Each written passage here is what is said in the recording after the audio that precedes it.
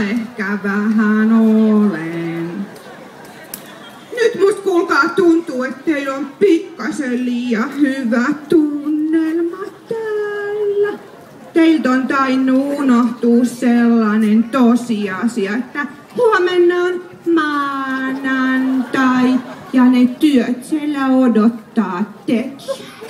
Kuulkaa, kun mä en voi teille tässä sijaiseksi muuttaa.